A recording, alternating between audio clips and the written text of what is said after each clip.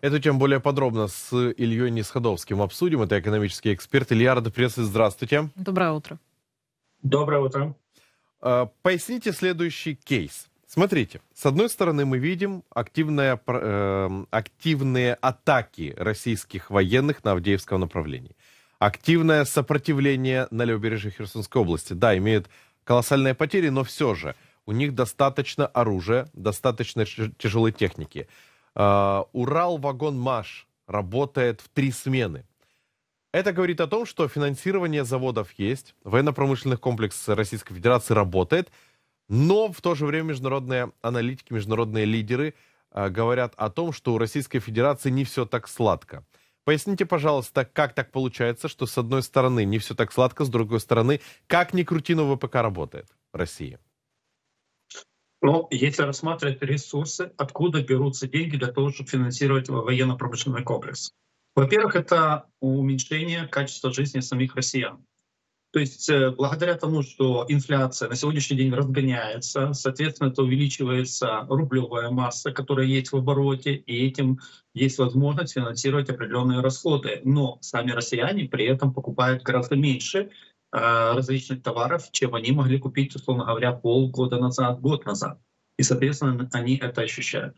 Кроме этого, увеличивается налоговая нагрузка на предприятия. Предприятия на сегодняшний день не могут свободно конкурировать, так как э, платеж, платежеспособность уменьшается, во-первых. Во-вторых, осуществляется, опять же, мобилизация людей, и поэтому у них есть война за фактически людские ресурсы. И также у них это ухудшает в целом поставки различные критического сырья и также, также комплектующие для того оборудования, которое у них есть. И это ухудшает в целом э, качество работы экономики. Но действительно деньги заливаются в военно-промышленный комплекс. Они вытягивают отовсюду, сколько это возможно. Кроме этого, позитивно повлияло то, что последние три месяца фактически Россия обходила санкции по нефти, а нефть — это основной ресурс, который приносит валюту. И потом эта валюта возвращается назад для того, чтобы покупать соответствующие комплектующие и другую сырье для того, чтобы производить э, оружие. Поэтому в этом комплексе э, это сейчас есть возможность удерживать. Но насколько долго это будет продолжаться? Сейчас э, американцы ввели соответствующие санкции по нефти, а именно танкеры, которые ее перевозят по цене выше установленного лимита. Соответственно, цена на российскую нефть существенно упала до 60 долларов фактически на сегодняшний день. А прайс который был установлен, он исполняется. Э, бюджет не получает то количество денег, которое он получал раньше. Соответственно, ресурс этот уменьшается. Кроме этого, значит, значительная часть ресурсов остается за рубежом, как в вашем сюжете абсолютно правильно сказано. Например, продажа нефти. Индия оставляет индийские рупии непосредственно самой Индии, а те технологии, которые нужны для России, они там отсутствуют.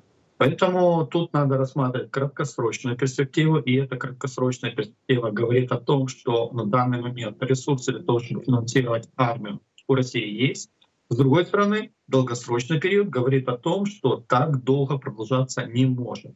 То есть э, ресурсы истощаются, возможности истощаются, качество жизни россиян ухудшается, а ситуация на валютном рынке э, держится за счет очень жесткого прессинга со стороны государства, со стороны специальных органов по отношению ко всем импортерам, которых заставляет возвращать выручку и продавать ее для того, чтобы удержать курс хотя бы до выборов. Но опять же, это все осуществляется вручную, это все осуществляется административными путями.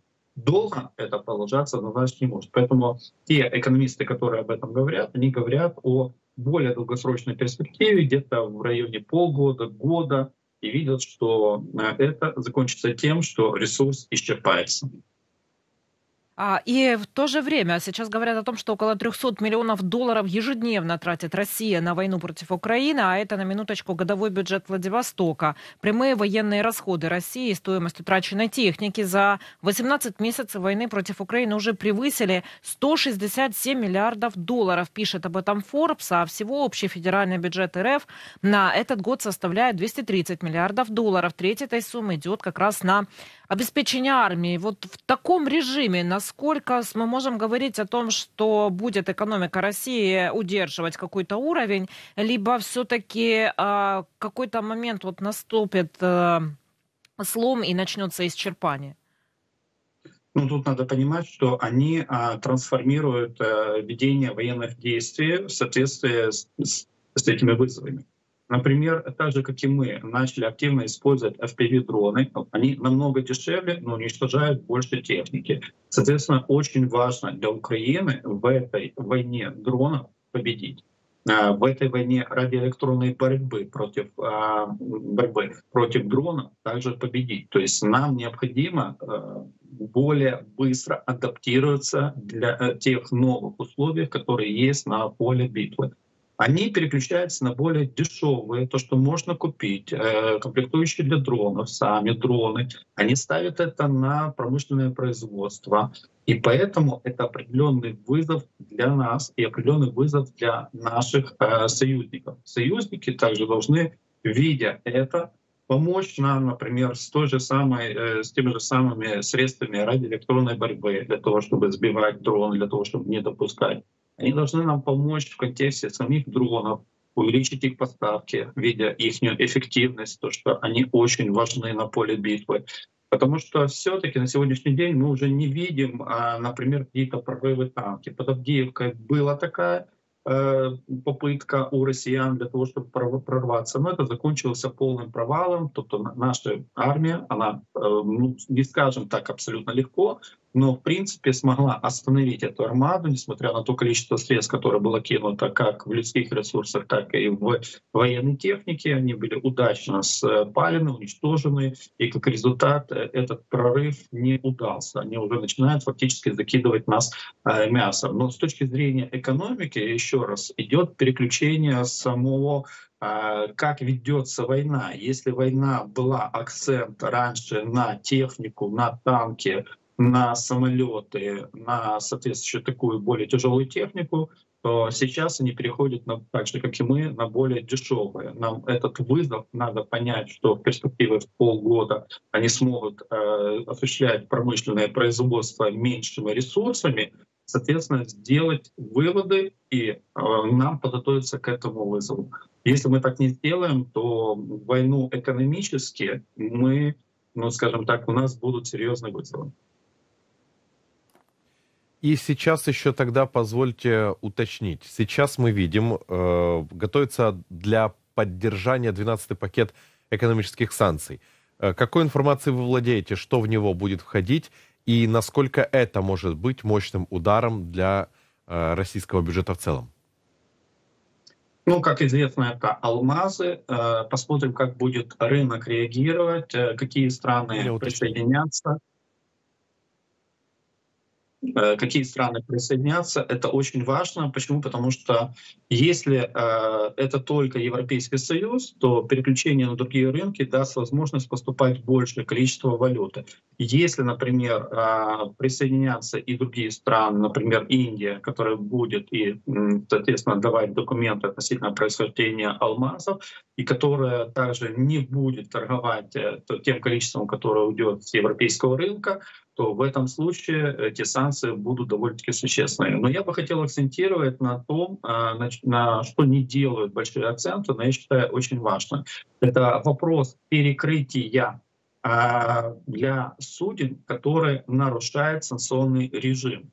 То есть э, если перекрыть Балтийское море, если перекрыть то же самое Босфор, а другие проливы, про непрохождение через европейские Э, территориальные воды суден, которые нарушают э, санкционный режим по отношению к нефти, вот это будет самый лучший удар. В 12 пакете санкций это предусмотрено.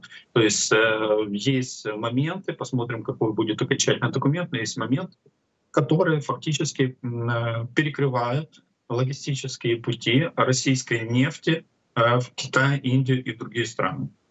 И для нас это важно. Кроме этого, мы видим а, реакцию Европейского Союза на европейские компании, которые также обходили санкции. То есть это, конечно, более сильный удар осуществляет а, Соединенные Штаты Америки, но мы видим соответствующую реакцию также у европе... европейских парламентариев, которые тоже заявляют относительно того, что по отношению к таким компаниям необходимо вводить санкции. Поэтому я считаю, что вот этот элемент, а именно помощь тому, чтобы те санкции, которые введены были раньше, они работали по отношению к нефти, это более важно. Почему? Потому что нефть приносит самое большое количество валюты, валю, валютных поступлений в а, российский бюджет и дает возможность финансировать войну.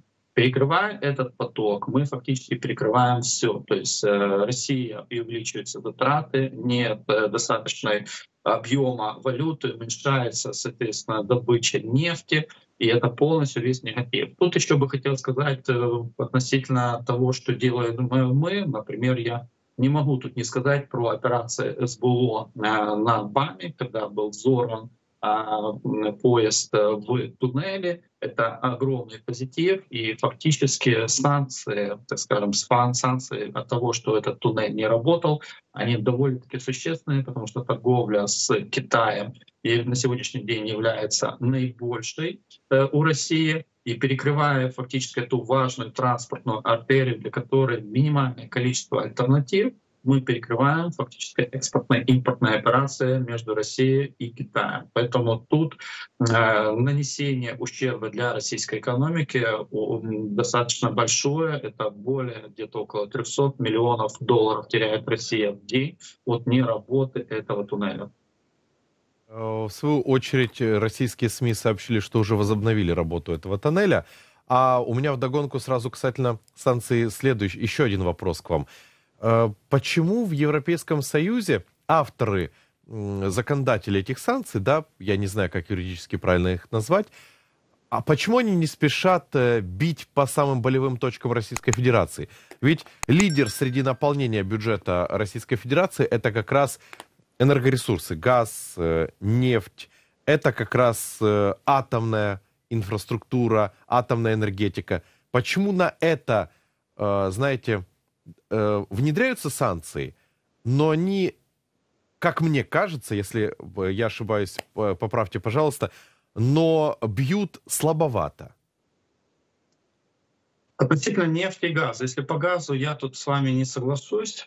После того, как взорвался э, Северный поток-1, э, Северный поток-2, э, поставки газа катастрофически упали, упали в Европу отправлять в другие страны в тех же объемах э, Россия не может. Поэтому по газу тут э, однозначно решение Европейского Союза, невозможность поставки в другие страны, отсутствие необходимой инфраструктуры для того, чтобы перевозить газ морем.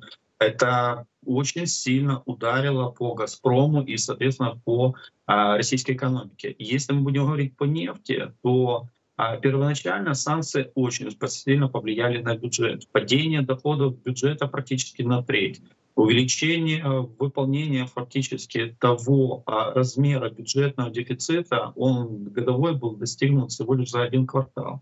Но потом компании, которые отказались перевозить российскую нефть э, с нарушением а, того режима, который был установлен G7, там, Европейским Союзом, а, они, соответственно, увидели, что Европейский Союз ничего не делает относительно того, чтобы эти санкции работали. И они начали перевозить нефть, э, начали выстраивать новые логистические поставки. А, страхование начало происходить в каких-то подставных компаниях, а другие закрывали глаза на то, что, выбачьте, извините, но страхование происходит в шарашкиной конторе, которая при малейшем каком-то э, несчастном случае просто не будет иметь ресурсы для того, чтобы компенсировать этот убыток, который будет нанесен в результате аварии на море. То есть закрывали на все это глаза, и, соответственно, цена на нефть сначала немножко превысила 60 долларов за баррель нефти, Э, российской нефти, потом достигла 75 долларов э, за баррель нефти. Конечно же, при таких доходах, 1 э, доллар это миллиарды долларов, которые дополнительно поступают в российский бюджет, соответственно, это не работало. То есть осуществлять санкции исключительно на том, что все будут добровольно соглашаться, будут отказываться от прибыли, но это было очень наивно. Соответственно, нужны меры по отношению к нарушителям санкционного режима более жесткие. И э, санкции были введены. Но надо более жестко это контролировать, надо более э, агрессивно э, реагировать на те компании, которые обходят санкции. А если есть расследование, которое показывает, что российская нефть поставляется на европейский рынок, вы уже даже не стесняясь, не, не осуществляете перевалку где-то в море, вы перевозите российскую нефть новороссийска там, в испанский порт, Извините, это вопрос достаточно открытый. Где же ваши санкции, если вы позволяете их нарушать? Поэтому тут более важно именно а, осуществлять давление на все компании транспортные, страховые, логистические, которые осуществляют такую перевозку. Тогда санкции будут работать. Относительно атомной энергетики я с вами соглашусь. С одной стороны, вроде бы как бы есть аргументы, что это безопасность, что если Россия откажется обслуживать атомные электростанции, это может привести к увеличению угрозы на этих атомных электростанциях. Но в то же время можно ограничить финансовые ресурсы, можно ограничить участие в проектах, можно не поставлять соответствующее оборудование, и это не создает угрозы к уже действующим атомным электростанциям.